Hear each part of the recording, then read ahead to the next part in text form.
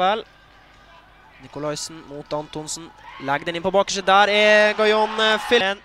Reginiussen videre til eh, Nikolaisen. Tilbake til Philips Phillips. Og han eh, setter en til eh, 2-0. Setter i gang et løp.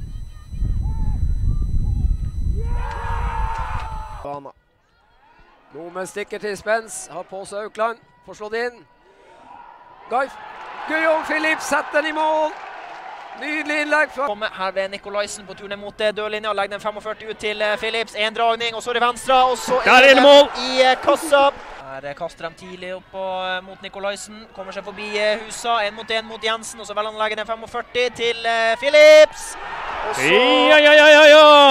Venstresida, men etter hvert så er det høyresida til Alta som skaper. Og her er vi igjen. Fra Nikolaisen til Philips, Og vi sier det, Arnt.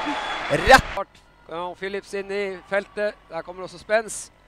Over til Og der skårer Guillaume Phillips. Han har ballen inn i banen. Balto. Stikker til Guillaume Phillips og setter i kontant i mål! En fantastisk pasning til Nicolaisen på høyre. Han slår den inn, og Phillips. Og den eh, krangles i mål til slutt. Severinsen. Ut til høyre, får lagt inn. Guillaume Phillips.